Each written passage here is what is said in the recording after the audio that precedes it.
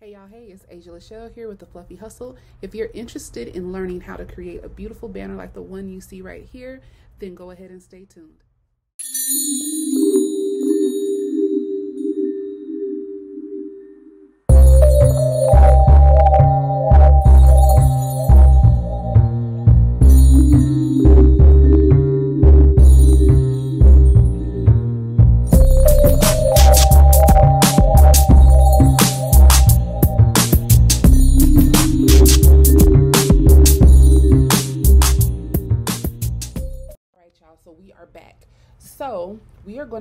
Recreating this fly- flyer. I'm going to be walking you step by step through my process.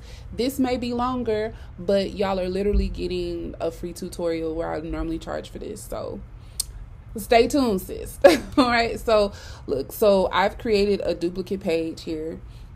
The first thing I did was I clicked on photos because we need to get this background. So what I typed, the background is here, but I'm going to show you what I did. I typed in Christmas background. Okay, and the background that I use was here. And all you got to do is drag it and drop it. That's it, quick like that. Boom, we have our background. The next thing I did is that I took an element. I went to elements and I put, I placed a, um, a square in, in the shapes. I placed the square right here. Okay, I made that square white and then I changed the dimensions of it and I brought it up to where these little grid lines are right here. I I moved it all the way out. Boom. Boom. Boom.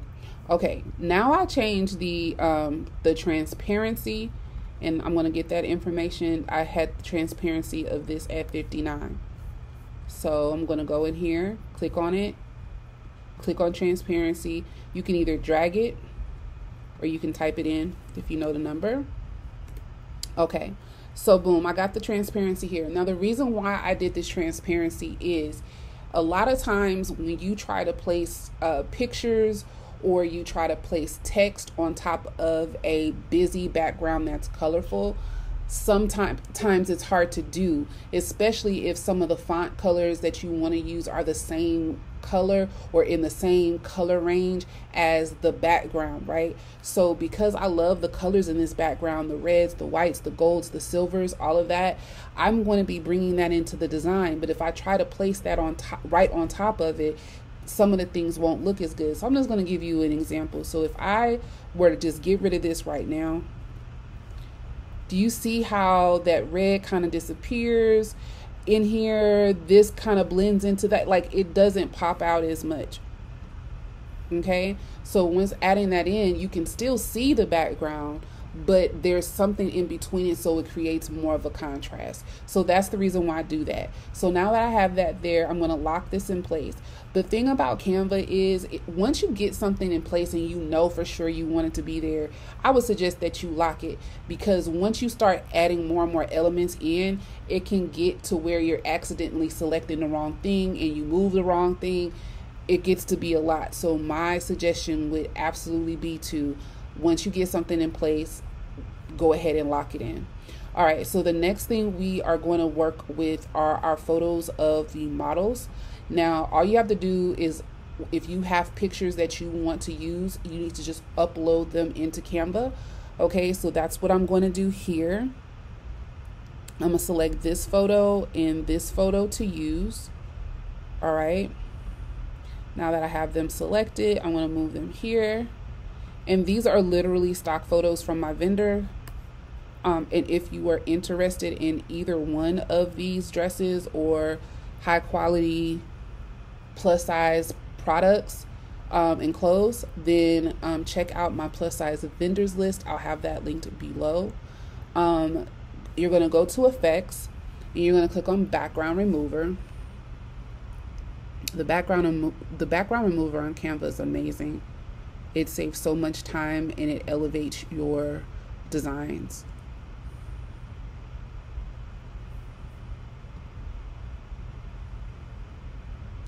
Sometimes the app tweaks a little bit. Okay, there we go. So now we have the two pictures um, cropped out. We want to put them in place now. So I'm going to make them larger. And if I look at the top picture, I had it like that. I'm trying to replicate it, but it doesn't have to be exact. Okay, so I know I had it like this and I had it like that. Okay. And so I'm going to size this one to match it. So I'm to bring it up to the same level and then I'm to bring this down. And I'm going to just eyeball it and bring this in. I know I had them more like that. Yes. Okay. Now that I have them in place, I have shadows behind them. This is a this is a tip that I literally don't think anybody else has shown on YouTube about how to create shadows on Canva. So let me show you. So you want to make copies. Command C and then Command V to make a copy in a Mac and it's Control C and Control V on a, a PC. Okay, boom. Let's move these to the side. Okay, so what I'm going to do here is this. I'm going to go over to adjust, okay? And I'm going to take the brightness of this down to negative 100, take the contrast up to 100, the saturation down to negative 100. Now you see it's just a black blob, right? I'm going to blur it to 40%. Here we go and I'm going to change the transparency to 89. You can change your transparency and blur it as little or as much as you'd like. That's totally up to you. Now that I have that done, I'm going to lock it. I'm going to go to the next photo and I'm going to do the same thing. So adjust, brightness down, contrast up, brightness down, blur to 40, transparency is 89. Okay, now I have that one done, lock it into place. Next, grab this model, bring her over here. I believe in the photo, I kind of had it like this and brought her over here and had her like that. And I'm going to change her position because she was backwards behind this one. Hmm. Bring that out a little. Okay, boom. And then I'm going to lock her into place. And I'm going to lock her into place. Okay, we're done with them or that part. Next, we're going to move on to text. So, click on text. Now, you can choose to play around and just like add your text and type it in however you want to. If you're not good with determining like what fonts work well together or look good together, like Canva's pretty good because they give you font combinations over here, things that you can put together that kind of give off a vibe that you like or whatever, you can use that as a base. And that's what I did. I used this one as a base. Okay? And so I didn't care for I didn't want to use this font. Playlist script this particular font is a font that a lot a lot a lot of people use. A lot of people use including myself. And so um, when you come up with designs and because i put out so much content like i just i can't keep using the same font so i used daydream i changed it to daydream i felt like daydream felt more like um, a holiday font to me so the text was holiday dress.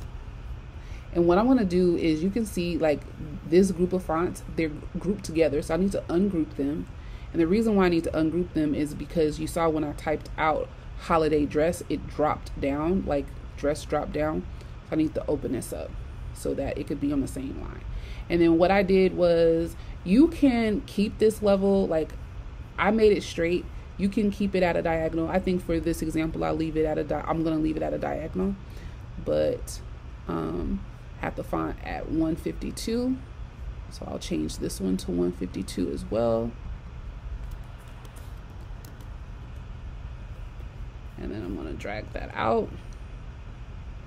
Now, the thing about Canva is that it's gotten better as far as like what you can do with the fonts because now you can actually put a shadow on on font. That's one of the things inside of canva that you can put a shadow on is your text. Um, not your elements or anything like that but your text you can put shadows on.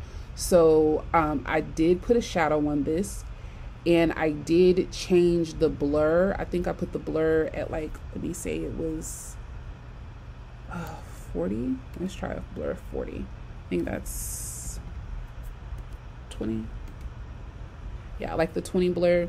Um so the blur is good here at that. But I feel like and then I changed it to red but I felt like it wasn't enough enough depth.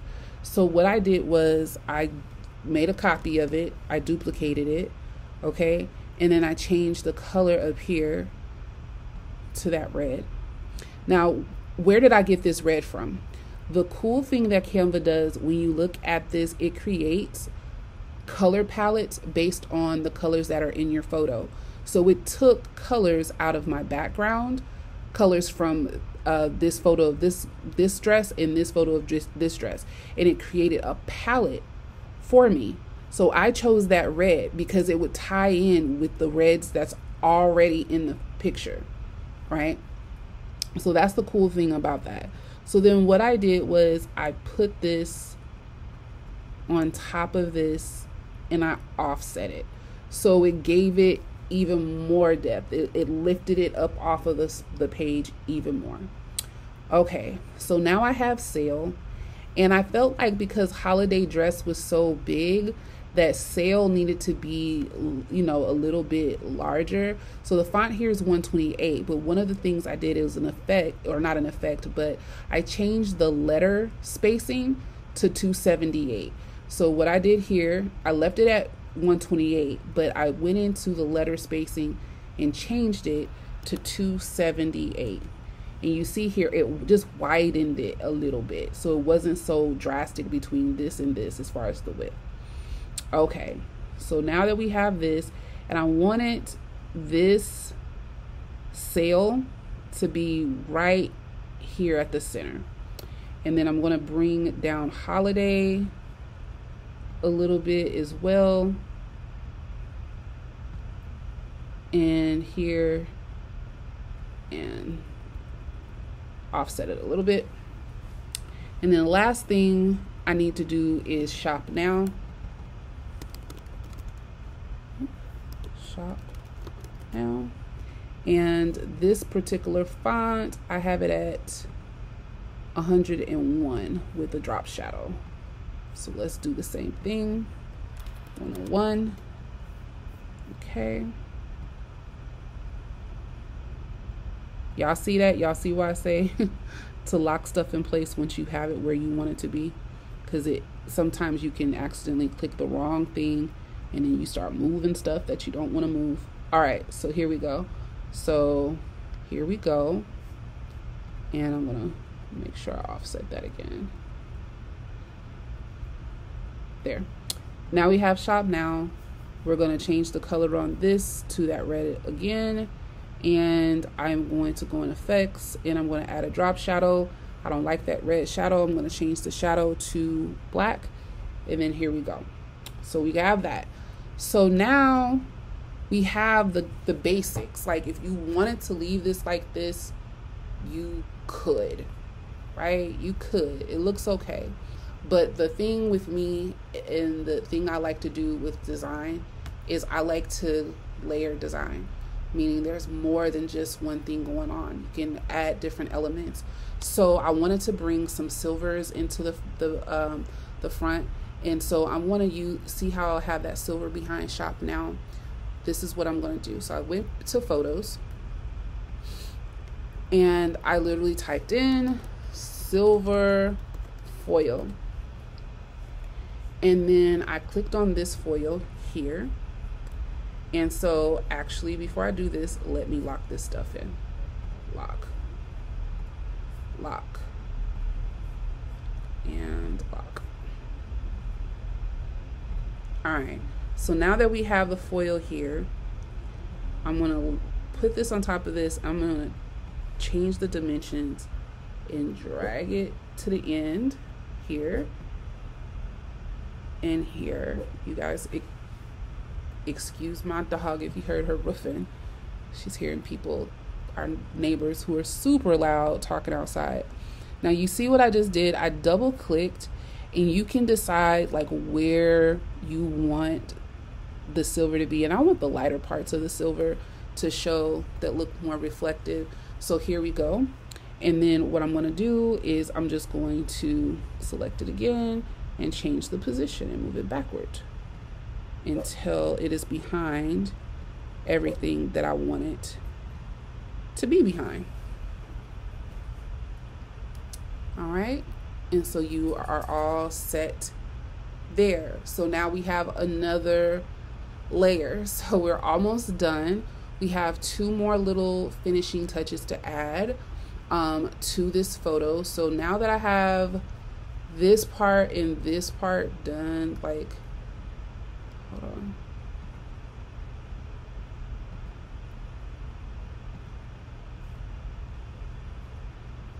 See, when you have so many layers of stuff, it's hard to get to other layers. But anyway, I'm to leave that where it is. So the next thing I want to do is I want to add these little red glitters on here. So I'm to go back to elements and I'm going to go to something called the frames.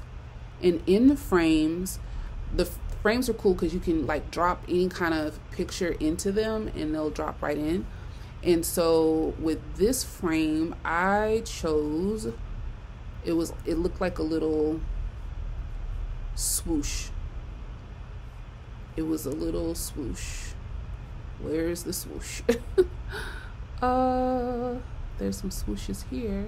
Ah, here it is. Passed it up. So this is the swoosh. Okay. And then I went to photos and I typed in red glitter. Okay. And I chose this one. So there is my glitter. And I turned it on an angle and I sized it down. Okay. And I brought it down here and I like put it on a on this corner. So that's how I had it positioned. So I'm gonna make it a little bit smaller so you can see some of it, of the little swoosh. Okay, so I'll put that there.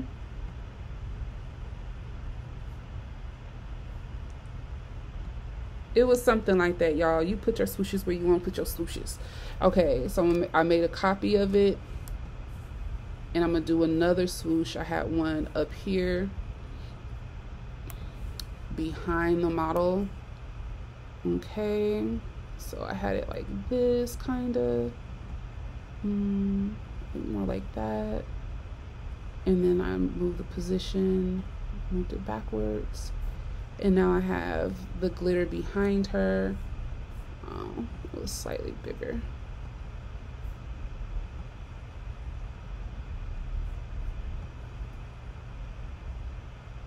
Okay. Oops. Undo. Okay. So here we go. So we have that. We have our little swooshes. And I think I even might do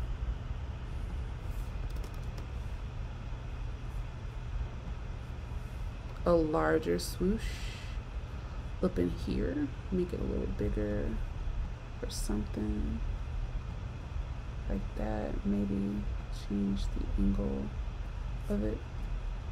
Yeah, okay, I'll add that in there. So I like that. Anyway, so now we're literally, we're good with that. We can lock these in place. Lock. Lock. Lock.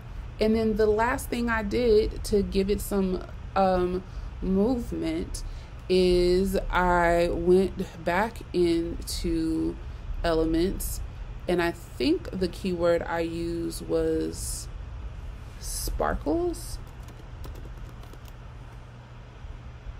And I went in here to the filter and I only wanted the animated ones.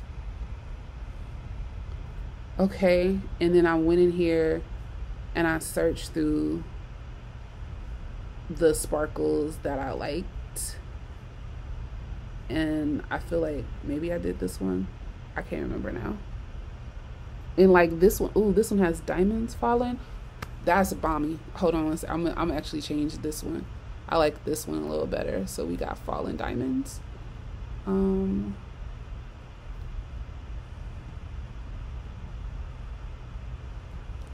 so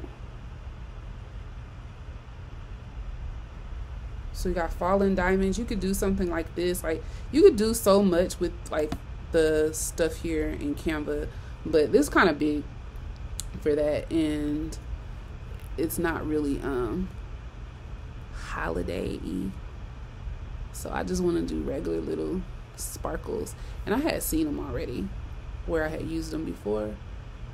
So I use this one. These. Okay. And I just sized them down and I put one down here.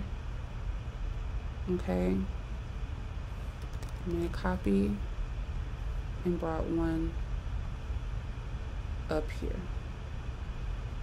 That's it. So that was the design. Now one of the things I can show you too is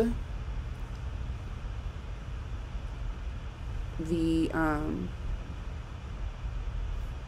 animation. So you can animate your slide. So you can click on animate and it can do different. There you go. Look at that. You can block it in, fade stuff in, pan. And you could do this, like you can use this to create Instagram stories, Instagram posts.